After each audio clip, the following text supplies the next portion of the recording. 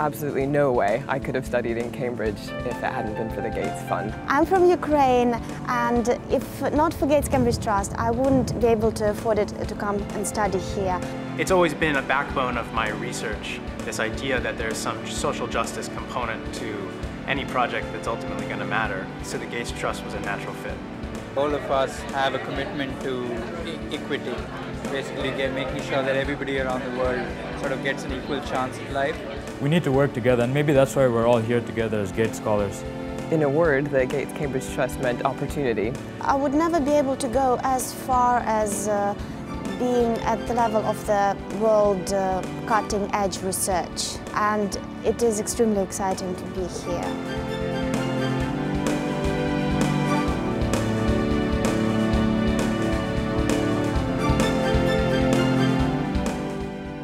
In October 2000, the Bill and Melinda Gates Foundation announced a donation to the University of Cambridge of $210 million to establish the Gates Cambridge Trust. This endowment creates in perpetuity an international scholarship program to enable outstanding graduate students from outside the United Kingdom to study at Cambridge. One of the ways to make the world a better place is to have more smarter, energetic people in it. And that is a direct consequence of this program and others like it. That's not all. The Trust sets out to mirror the values of the Bill and Melinda Gates Foundation, which includes a commitment to reducing inequality and improving lives around the world. You and I want the world to be a better place. We want it to be better for us, but more than that, we're very anxious that it be better for as near to everybody as we can possibly make it. What makes the Gates Cambridge Scholarships different is that they put huge emphasis on intellectual ambition, uh, being informed really by strong ethical concerns about how knowledge can be used for the benefit of society at large, and that education brings with it a responsibility for leadership in these matters. I mean, one of the things that really attracted me uh, to the Gates program, as opposed to a couple of other ones I was looking at, was the fact that the value really was driven on people who were focused on making a difference and on also being able to articulate how what they were doing mattered and where the potential could be for the real world benefiting by them, you know, sitting in a room, crunching their numbers, doing their lab work, whatever it might have been. I, I don't think that there are many scholarships where you have an entire or, or large percentage of the scholars who are deeply concerned with not just doing excellent work, but doing excellent work that's relevant uh, and relevant to pressing problems in the world today.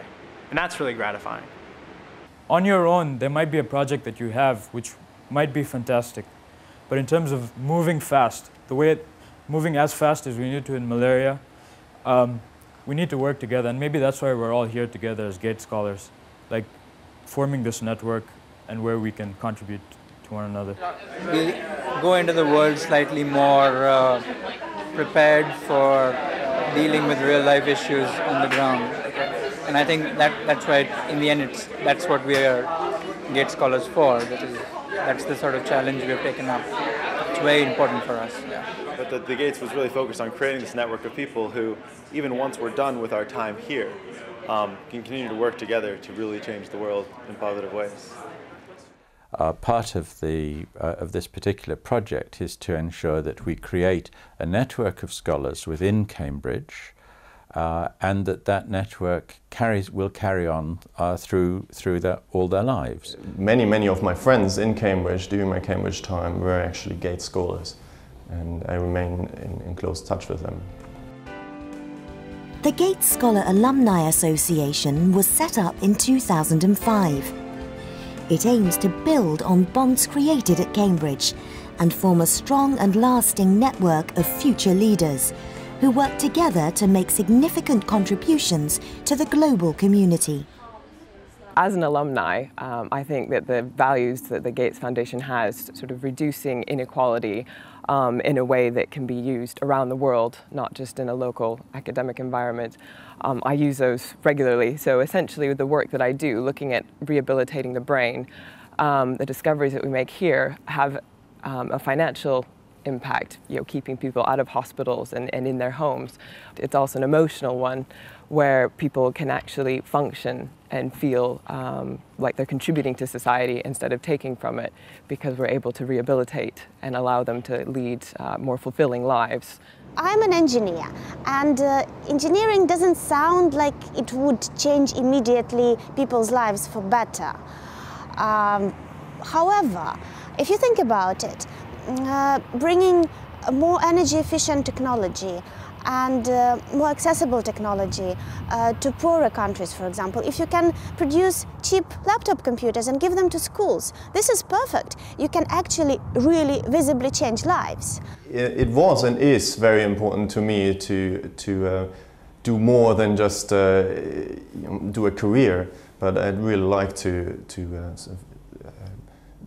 as they say, do, do well and do good, um, which is also the reason why I then joined the Environmental Technologies Fund, as uh, this combines business with uh, a positive impact on the world part of the reason I chose to work with the Medical Research Council is that as government employees, we're in a position to influence policy decisions. So when the government wants to consult people about the impact their decisions will make, they come to the Medical Research Council, and it's really enjoyable to be able to have an impact at that level. We are at the moment, since we're a very young program, we are just setting up an alumni association and an alumni network and working out how we can keep track of people and how they can keep track of us. Uh, and I think in um, 15, 20 years' time, this should be a very vibrant and important network. We believe that what you're doing is producing effective, thoughtful leadership. It may seem small, but you know, over 20 years, we're talking about quite a few thoughtful, sophisticated, well-motivated leaders. And that it's as simple as that.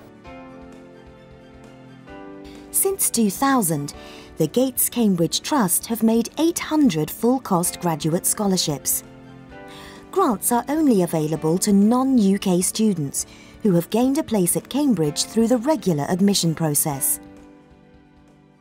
We have students who uh, come from, I think it's about 85 different countries overall. As a Gates Scholar, I've been uh, exposed to many different cultures and religions, and I've learned to uh, understand very different people. 1980. So I was born and raised in Zambia, lived there for 18 years. I'm actually half French, half Australian, but I was born in Thailand and lived there for 18 years. The challenge we sometimes have is we fail to understand it was an education in itself to be able to discuss with people what their concerns were in their own countries and how they were hoping to go back and actually influence um, the policies that their governments made. The Trust places a great emphasis on building relationships between scholars. It resources a three-day orientation programme. It also provides a suite of multi-purpose rooms in central Cambridge for events, studying and networking. We have these lovely rooms uh, for the Gates Scholars. This is a very uh, valuable uh, facility that we have, and it, it, it plays a serious part in developing a sense of sort of community. The Gates Scholarship was great at providing a, a forum for people to get together um, through events, but also just through, say, the community feeling that was generated very quickly. The scheme is open to students from any discipline, and between them they have a rich diversity of interests, ranging from neuroscience to music to international human rights. The Trust actively fosters and supports students in organising academic forums, where a truly interdisciplinary debate can take place. The Gates Cambridge Trust was very encouraging of, of, taking an interdisciplinary approach. So when I had this background in music, it actually felt, felt uh, quite natural to apply that to examining questions about the brain. Enormous opportunities to interact with uh, people from various disciplines, and especially in international studies. You can't be limited just to scholars from international studies. You have to work with lawyers, economists, and so on and so forth. And I think Cambridge is very good in that you sort of get to exist in a plane that allows you to float through different societies in Cambridge University? I work on genetics of diabetes, which has almost nothing to do with any of these talks. But even then, I'm thinking, oh, look at development. This is so incredibly exciting. You know, is there any way I could link that with my subject? And I think it's those kind of connections that are really important. Every night of the week, one of the Gates scholars is saying to someone else, hey, come over to my college for our special thing. And besides some bump, random bumping into them, I wouldn't have known about that thing. So I, I feel like I have access to this super experience of Cambridge, which is, um, which is great in its own right, and it allows me to say what it is about Cambridge that I find so wonderful.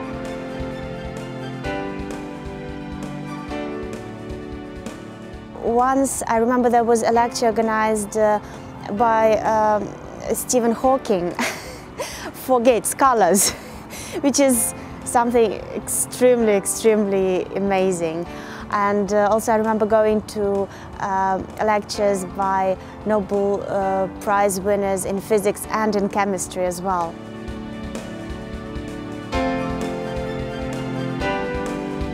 Getting the Gates Scholarship was one of the best things that ever happened to me. Coming to Cambridge has changed my life completely. I have a sense of commitment to other people that I don't think I would have gotten without the experiences I had as a Gates Scholar.